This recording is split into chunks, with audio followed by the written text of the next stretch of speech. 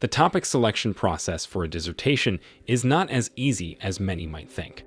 So, no matter how simple or complicated your ideas are, you need guidance, professional help, and enough research in the field that interests you to choose a good topic for a dissertation. In this module, we shall discuss how to bring your ideas together and select the perfect topic for your dissertation. Therefore, to get started, it is quite important to understand what is expected of you throughout your research. We will begin by highlighting the importance of reviewing past dissertations in your subject area in order to identify where a gap has been left. While still at it, we will cover how to use a mind map, an ideas grid, and the formulation of research questions to help generate ideas.